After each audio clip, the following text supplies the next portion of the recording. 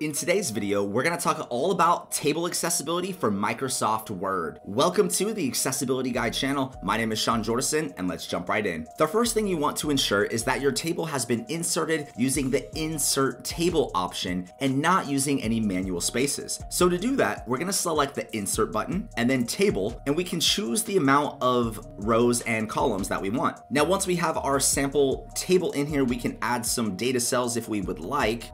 I'm just gonna put in header, header, you want to ensure that your table has a logical reading order. Now, what that means is basically we want to ensure that our table is very simple to read. I also like to ensure that we have a table style applied as this will help determine whether or not uh, the cells are easy to read or not. So in this example, when I apply a table style, I can determine that we have header cells at the top and right now our first column header is selected on the far left side. Tables should have appropriate header rows and header columns apply. Now in this particular example, under my table design tab, I have header row and I have first column selected. Now if I deselect first column in this example, it will unbold the far left column. That means that those cells are no longer a header cell. Now, it really depends on the type of data that you have in this table. Since this is just a for fun table, I'm gonna go ahead and leave this as is. Additionally, you want to ensure that tables do not have any merged cells or any blank cells. Now, this really is just a requirement for Microsoft Word. And if you plan on taking your table to PDF or HTML, there are additional things that you can do. But from within Microsoft Word, we have no ability to apply scope to our data cells. So if I were to merge cells or I were to leave one of these blank, it really creates a poor user experience for someone using assistive technology. That concludes today's videos on how to make Microsoft Word tables section 508 compliant. If you want to find out how I can help you get accessible, take a look at the links in the description of this video. And as always, I can be your personal accessibility expert. Thank you so much for joining me today, and I'll see you next time.